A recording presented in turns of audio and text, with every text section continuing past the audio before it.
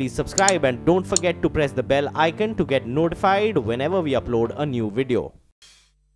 The union budget is silent on stimulating mainstream real estate demand.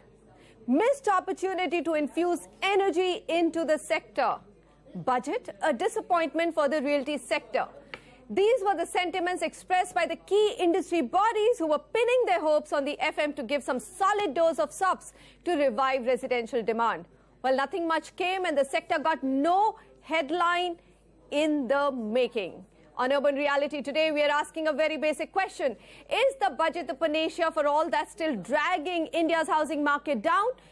Which of the industry's unfulfilled demands are valid and which ones were simply too optimistic? Welcome everyone.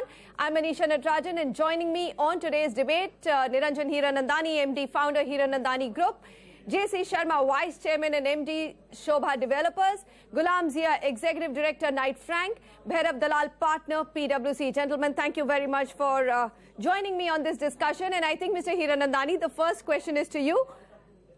What was the biggest disappointment, or were we just as an industry asking for too much? I think basically, uh, uh, uh, oh, dil mange more. I think uh, the problem which has happened really is that uh, I think the Prime Minister has set a very, very high target. He wants us to give housing for all by 2022. So we were all thinking that if you have to achieve that target, we need to have more SOPs in order to see that the money which is all going to the stock market and other areas should also be in co-investing into real estate. Now, the point is, if the SOPs in the other market, whether manufacturing or industry or the stock market, is so beautiful that people are hesitant to put in into real estate where you have a 12% uh, GST, you have a 5 to 6% stamp duty, plus all the local taxes. There is a kind All of right, Mr. Hiranandani, Mr. we Hiranandani, sorry to interrupt you. Sorry to interrupt you, sir. Just want to ask you, are you talking from the perspective of the industry wanting to bring in more money into real estate or investing, or are you actually talking about the buyer looking at real estate as an asset class? Because I'm getting both sides of the story. I'm not able to Only the buyer, only the buyer, the only the buyer, only the buyer, Okay. only the buyer. I'm very clear in my mind. We always talk from the buyer's perspective. The buyer has to co-invest into the whole thing, whether he's buying an apartment for himself in terms of a larger apartment or a second apartment or whatever it is doing for the purposes of investment into real estate. If he wants to uh, tomorrow say that where should my next investment come, Is it going to be real estate? The options are definitely clear that he will not look at real estate with an aggressive manner because the options in the other markets are much more easy in terms of investment because the taxes are much lower. I think that is the challenge. So when we are talking about the SOPs, so-called SOPs that we are talking, we are not. We are trying to bring it pari passu with the other industry uh, SOPs which have already been given and lots and lots of them are there Right. today. If I'm going to enter into a stock market, there is no stamp duty. There's nothing that you really have to pay and the capital gains after one year, even after the increase is only 10%. That's my grouse. Okay. Okay, point taken, point taken. Let me go to Mr. Sharma. Mr. Sharma, are you equally disappointed? I mean, no extra disposable income in the hands of salaried middle class. Uh, well, you did not get much of a change in any of the taxation benefits which comes from buying a house, either on the capital put in or on the interest on home loans. What has your assessment been, sir? Manisha, eh, you are right.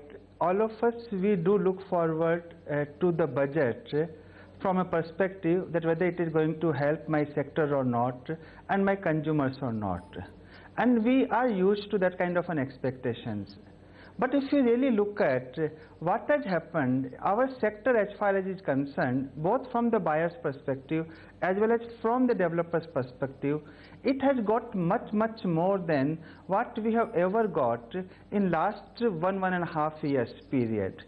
See, what they have done very clearly is, from a buyer's perspective today, on affordable homes, which is the thrust area for this government, NHB has no fund constraint. The industry has got infrastructure status. Buyer will be paying only 8% GST in place of 12% GST now. And at the same time, the fiscal incentives, which earlier was for a limited quantum, now it has been told that any quantum of homes we sell uh, on, on a revised carpet area up to 110 meters square, right, a buyer with an, a household income of 18 lakhs rupees will get huge benefits. We will get income tax benefits on affordable housing. And as far as from Bangalore perspective, 17,000 crore has been planned to be invested for the suburban, which will keep Bangalore relatively more attractive. So when we go to the fine prints and 25% income tax for the developers or for the MSMEs kind of a thing means 5% savings in the income tax also. So all put together net net net when government needs 24 lakh crore government has only 22 lakhs crore they need to keep their fiscal deficit in balance i think it is a balanced budget where we did not get much directly in the budget but indirectly all the benefits what we have been looking for, it has not been withdrawn All like right. in case of LTC or hmm. in other cases. That's my view. Okay, all right. So we've got two So- opposing views here. Though I must say that Mr. Hiranandani has also made a very public statement that we've got a lot, but there's still a lot more to be given. Uh, Gulam Zia, what's your own opinion on the biggest demand that the industry had? Our view is uh, pretty clear that uh, uh, uh, the focus of the government has been more on the bottom of pyramid and not just in real estate. I would say the macro picture, which is emerging very clearly, is that the budget focus has been on the bottom of pyramid for the masses. And the real estate that we cater to, unfortunately, is not even catering to more than 5 to 6 percent of the households of the country. And that is a reality which is very clearly evident that these uh, demands that the industry is making, you know, for last whatever 10, 15 years I have been watching are pretty much the same. Industry is not asking for anything new, but government has at one point or a time, uh, some sometimes small portions, small doses of incentives do come, but overall not much of a focus has been on real estate in any case. So uh, instead of uh, you know sitting and cribbing about it, I would rather say, as Mr. Sharma was talking about, focus more on where government also wants the efficiencies and efforts to come in, which is for massing for all, which is bottom of pyramid, which is you know really uh, creating the lowermost end of the housing. Uh, for which I would also say that and uh, move on. money and yes, move yes. on. Yeah, move absolutely. on, isn't it? All right. Okay, uh, Bhairav Dalal, come in here. I mean, you know, every year you have such a bucket of uh, bucket list in terms of tax breaks that one can get, but some of these uh, have have been pretty rational tax demands. For example, things like vac- vacant homes still to be taxed based on notional rent. Now, this, according to me, was a very valid demand from the industry to be reviewed. You want to create surpluses, but you're still wanting to tax vacant homes. How, I mean, uh, sum it up for us. What could the government have done without denting its uh, deficit anymore? So I think uh, overall the the question is whether there was uh, there was enough in it for real estate or not. Second, uh, did we as industry expect too much? I think at some point of time uh, we got a feeling that we are expecting too much out of it. Third, on some of these tax matters, uh, there's a general consensus that status quo is good. Uh, tinkering with the tax laws on an annual basis is not really the way to go for a developed nation, and we are getting there. So our view is overall the the tax laws shouldn't have been tinkered. Yes, there was a very very strong demand that the notional rent uh, income tax should be done away with. Uh, just the fact that it was brought in last year, I think it was too early for the withdrawal. Uh, it shouldn't have been brought in the first place, given that there's a lot of unsold inventory. But in a way, it, the, the government is, is passing on the message that uh, don't hold on to the prices. If the prices needs to be corrected and sold, then go ahead and do it. Don't hold on to the stock. I think that's, that's the message which is loud and clear.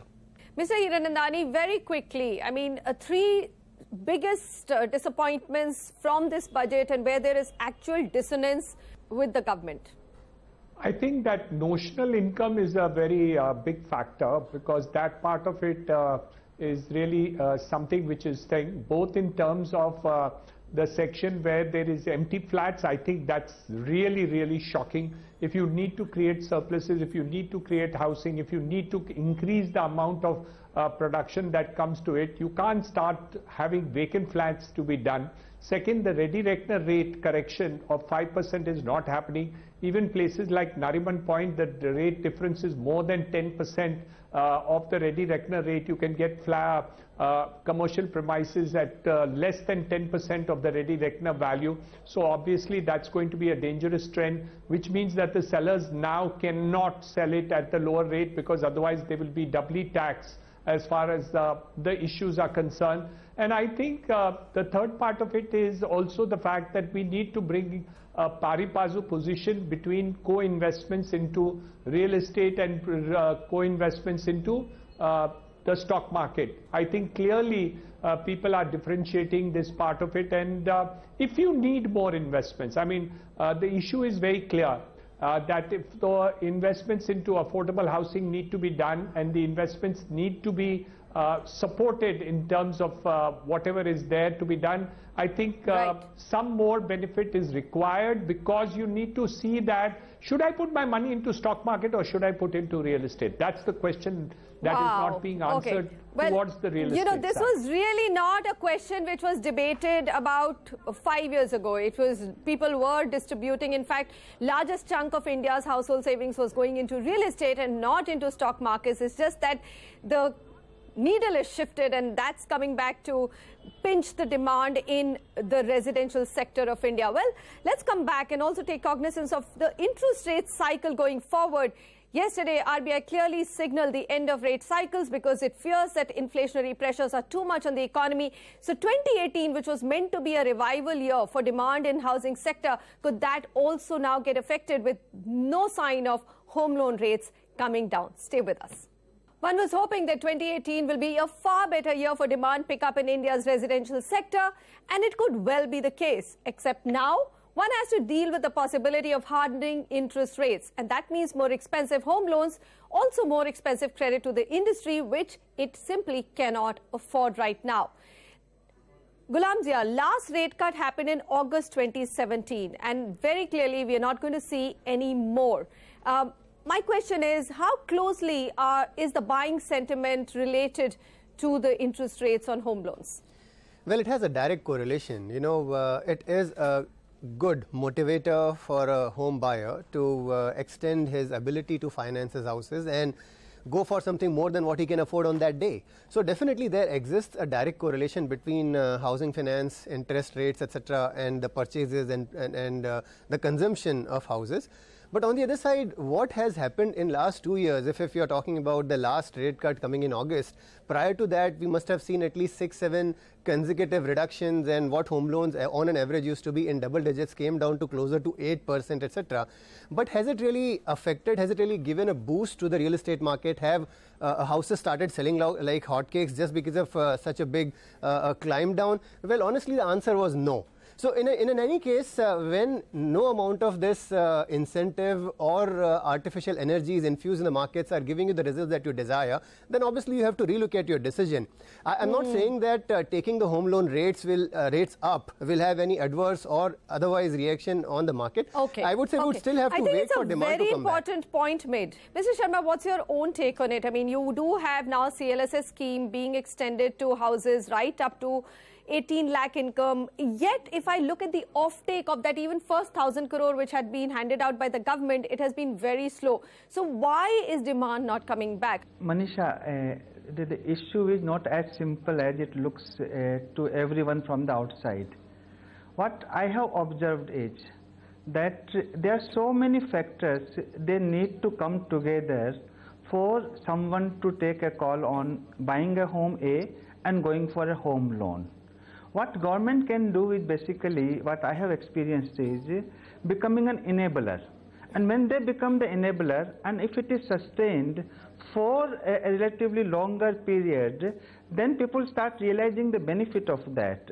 All such things are uh, having a deep impact uh, in the overall structure of our business from the customer's point of view as well as from the developer's point of view. I am quite confident, con- confident and convinced that the benefits uh, of interest is a real benefit which is being passed on. There is no savings incentive nowadays to people having money. You have to look at from that angle. If they put money in the stock market, 15% short term, 10% long term. If they put money in the gold, Right, no benefit. And India needs home. And 8%, 6%, 7% tax paying interest versus 8% tax exempted investment in a home is going to be quite beneficial. All such things need to be communicated and through this medium uh, or otherwise also, we are making our customers uh, clear that it is the right time for you to go for loan and take advantage of your savings with so much of benefit being kicked into it. But yes, the demand Right, is not taking uh, or happening due to multiple other reasons. And just to imagine, had these steps not been taken, what would have happened to the demand otherwise? And on top of it, by nudging all of us to go for affordable homes, it does take time for us to plan when we have already existing inventory. But this nudging itself, you will see the benefits, where for the first time I can say with conviction that the qualitative growth in our real estate sector will be so secular that all of us will start making ourselves professionally or otherwise far more competent.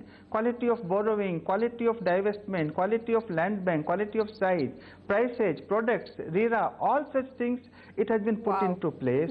And hopefully, as and when the situation starts beginning to look up, uh, when 8% growth will be seen, you will see real estate sector outperforming by miles all the other sectors, Wow. in my view. Okay, Bhairav, would you agree with that? I mean, in terms of affordable housing, whether it's GST or it's uh, the fund of 25,000 which has been set up, all of this is saying, hey, go ahead, get into this sector, give a roof to everyone, and we are there to support you. Yeah, absolutely. I think uh, if, if there is one subsector within real estate which is likely to do well and which is gaining a lot of importance, it is affordable housing. Even globally, you see a lot of lot of investors are actually wanting to understand this entire affordable housing play in India and are willing to provide patient capital. I mean, they are not the guys who want 20% plus returns. They are happy with with uh, sub sub 15% return, and that's that's where a lot of these is leading towards the fact that we will see a much more wider affordable housing market.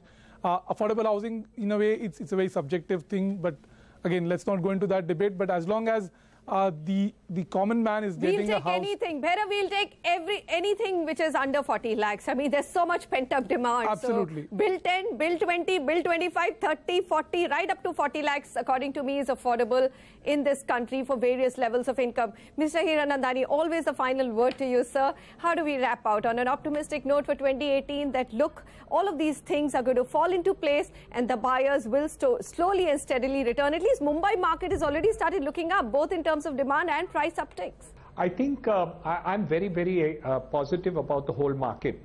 The bottom of the pyramid is also being taken care of. Prime Minister's Awas Yojana has launched 51 lakh houses in this area and 51 lakh houses added in the year 2018-19.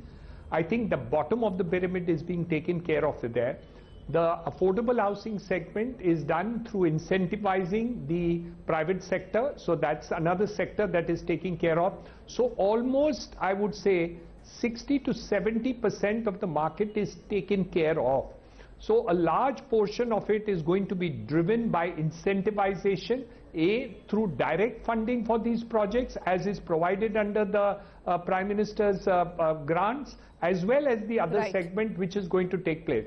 What I'm saying is that if we want to achieve the target, we needed to put these additional things. But I'm extremely bullish. The work is going to really take off and the next, this year, you will see a huge amount of construction which is started in the affordable housing and that segment, which is extremely good for India. When I speak about right. the deficiencies which remain, I talk about it from a totality point of view. So, good idea getting off the ground in the terms of whatever is taken up. Excellent. On that note, I'm going to conclude here. Mr. Niranjan Hiranandani, Mr. Sharma, thank you so much for joining us. And Gulam Zia and Bhairav Dalal, pleasure to have you gentlemen with me here on Urban Reality today. I'm going to wrap out with Thank my you. take. Well, every bit from the government will help. But what really will help in reviving the buyer confidence is delivery of the stuck flats and honest above board transactions. RERA's implementation has been patchy, we all know that. Courts are taking forever to bring any relief. New buyers will come, but most will come only for ready to move in properties to avoid any risk. How do you bring the investor back who's willing to take risk? The industry will have to ponder on that and also get used to a new normal. Thank you so much for joining me.